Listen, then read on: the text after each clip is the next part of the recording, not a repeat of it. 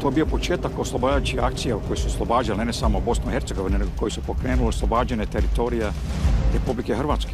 Poslije operacije Cincar, oslobađanje Kupresa, mi se prebacujemo u Livansko polje. Odmah nakon susreta Gojka Šuška i Viljama Perija u Vašingtonu, Hrvatska je vojska pod zapovjedništvom generala Ante Gotovine počela operaciju Zima 94. Mi nismo u Knin mogli doći sa e, tenkovima i sa teškim naoružanjem preko Velebita, normalno da je to neprohodna planina. Kroz dolinu također se nije moglo doći jer je obrana bila prečvrsta, strogo utvrđena. Jedina šansa je bila preko Dinare. Geografija je ta e, koja i na prvi pogled pokazuje da onaj ko drži e, bosansku stranu e, može da uđe u Dalmaciju onda kad želi jer ne možete da branite položaje koji su direktno vama na dlanu. Ona je bila važna i za nas, a bilo i za protivnika.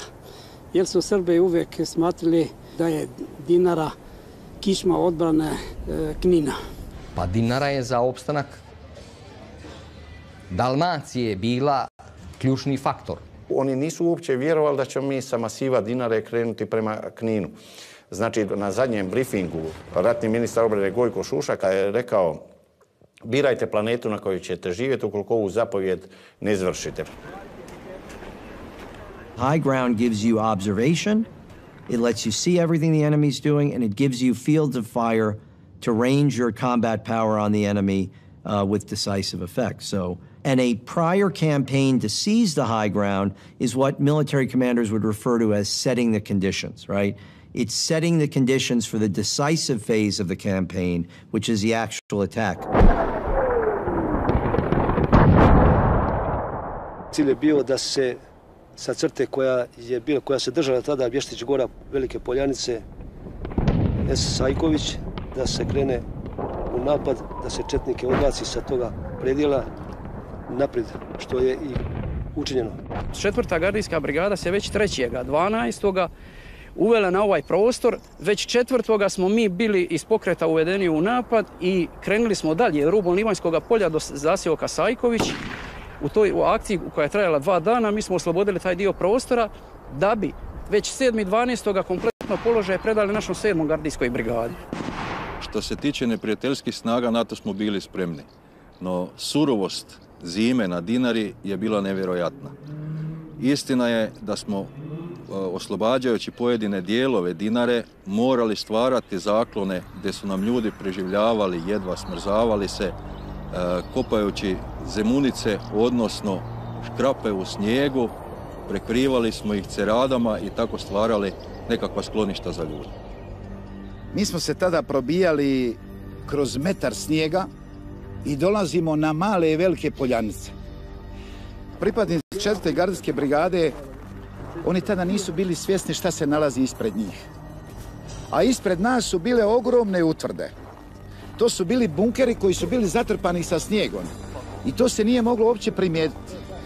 I kad smo mi njih razbili u tim silnim utvrdama, vidimo civili trču prema nama. Nikome nije bilo jasno šta je sad. Na 1780 metara četnici su dovukli civile iz Banja Luke, Bošnjake i Hrvate, koristili za živi štit, a ujedno su bili radni vod. 48 civila mi smo zbrinuli. U toj unakrsnoj vatri jedan dio civila je poginulo. I tada sam ima priliku snimiti jednu strašnu scenu kad jedan gospodin iz Banja Luke nalazi sina ubijena na vrhu Dinare. Ja snimam i plačem. Joj, sine moj. Joj, sine. Joj, sine moj, Marko.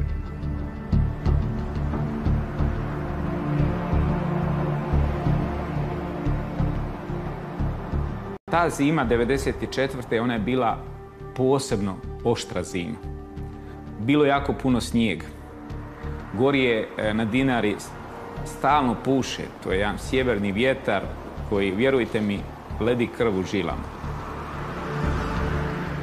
Često se puta čuje da su vremenski uvjeti ponekad bili gori od neprijatelja. Temperature su padale ispod 20 stupnjeva. U takvim uvjetima vi vojnika ne smijete ostaviti više od 10 minuta vani jer nakon 20 minuta naćete ga zaleđen. Nisu bili uvjeti za življenje nikakvi dok se nije inženjerija počela graditi, znači kućice, helikopterima se to vozilo na Dinaru, da se stvore neki uvjeti za življenje. Visoravni koje su bile neprohodne, napravili smo njih prohodne da može proći sva ta naša logistika, tehnika i tenkovi izvesti na vrh recimo 1900 metara. Tu mrzne i gorivo, tu su temperature niske. To je praktički neprohodna planina. Zar je iko moga misliti da će Hrvatska vojska smoći snage, znanja i umjeća da izvede topove 130 mm, haubice 203 mm, tenkove preko planine Dinare?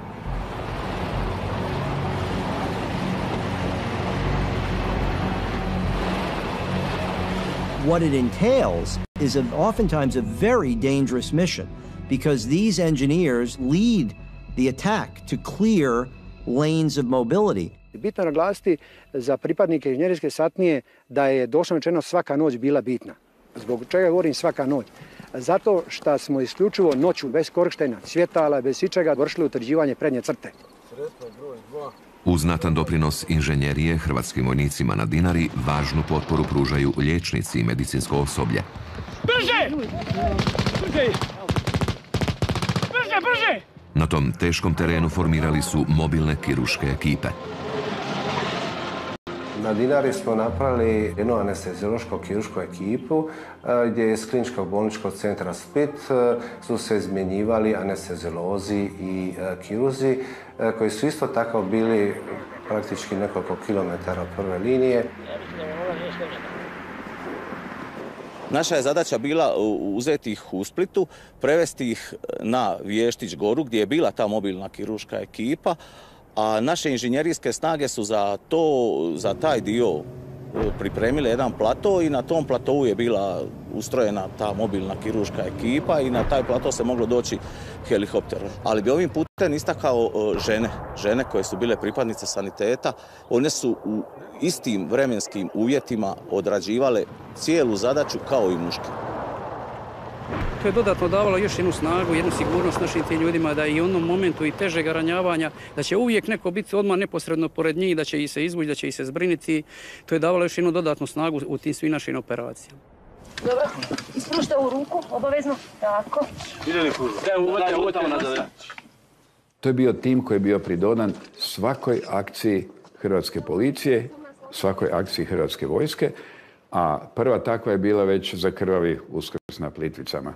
Imali smo čak i svoju bolnicu pokretnu gdje su e, zajedno s nama ravnopravno sudjelovali kirurzi, medicinske strestre, anestezolozi, tako da je preko 200 djelatnika zdravstvene struke bilo zajedno s nama u tim operacijama.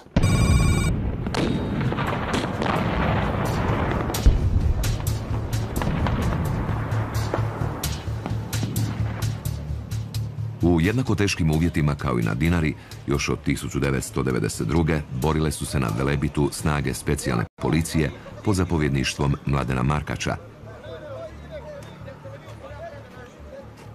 Specijalna policija je imala zadaću pronalazak diverzantsko-terorističkih skupina, zatim vojnih baza, skladišta i morali smo ustrojiti specifičnu logistiku Imali smo zrakoplovnu postrojbu helikoptersku, imali smo konjičku postrojbu. To nam je omogućilo da lakše